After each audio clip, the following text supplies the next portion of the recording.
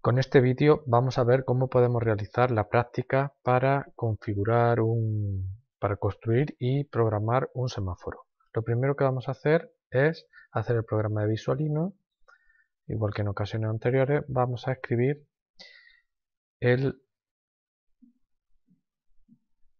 vamos a poner el bloque para escribir en el pin digital que en este caso va a ser el número 6 para lo cual tenemos que poner el número 6 con este bloque. Modificamos. Es muy similar a la práctica anterior que hemos hecho. Ya tenemos el bloque 6 lo va a poner en valor alto. Después tenemos que hacer una espera, en este caso va a ser de 200 milisegundos, eso está en control, espera, vamos a duplicar directamente aquí para poner los 200 milisegundos. Y una vez que tenemos el pin 6 vamos a hacer lo mismo para el pin 7. Dándole a duplicar ponemos el pin 7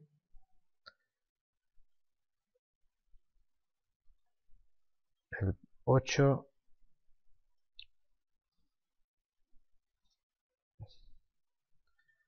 y la espera con esto haríamos una secuencia en la que encenderíamos los tres LEDs pero como lo que queremos hacer es una secuencia en que haya encendido apagado pues vamos a duplicar y en este caso vamos a intercalar el bloque poniéndolo a valor bajo.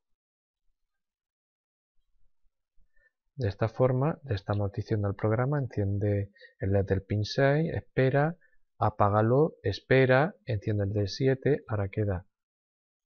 Espera y apágalo, ponemos en valor bajo, espera y por último enciende el 8 y apaga el 8 y ahora espera. Y vuelvo a repetir todo el proceso. Lo siguiente ya que estamos aquí en esta pantalla vamos a copiar el programa. Seleccionamos control C y ahora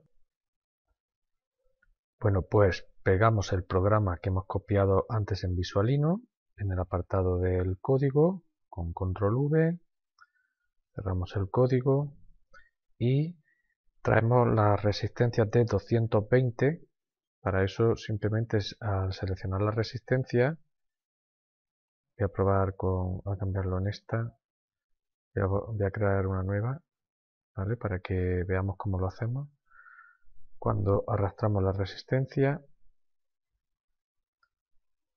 por defecto nos sale el cartelito de la resistencia y le ponemos un valor de 220 ohmios. Bueno, pues lo único que nos queda, le hemos cambiado los colores también a los LED al, insertarlo para que parezca efectivamente como un semáforo y lo único que nos hace falta ya es conectar. Conectamos primero el, ánodo, el,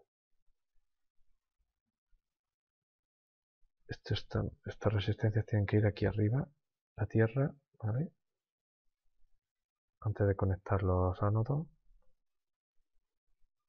Lo llevamos todas a tierra, tal y como tenemos en la práctica.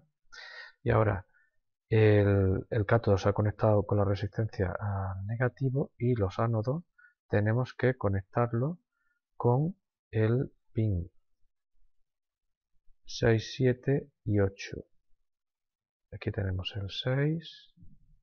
Lo voy a hacer en orden inverso para que no se crucen. Este sería el 8. Este se conectaría con el 7. Y este se conectaría con el 6. Cuidado al conectar que no ocurra como ha pasado aquí, lo he hecho a propósito, que hemos conectado en lugar de en ese pin, se ha conectado en el de al lado, es aquí. Tenemos que conectarlo junto al ánodo, las tres salidas. Nos falta por conectar, que no se nos puede olvidar, la tierra. Hay que conectarla con la tierra de Arduino. Vamos a poner en color negro.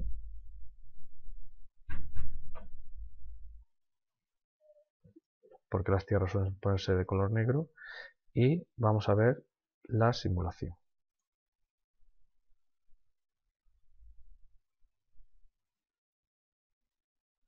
Se enchufa.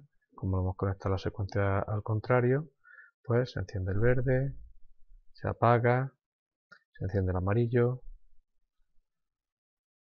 se apaga, se enciende el rojo y se apaga.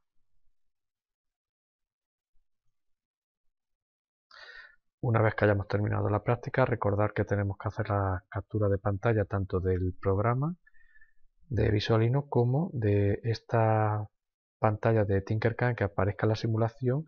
Es importante que aparezca también el código, perdón, la hora y la fecha de vuestro escritorio. Con esto termina el video tutorial. Gracias.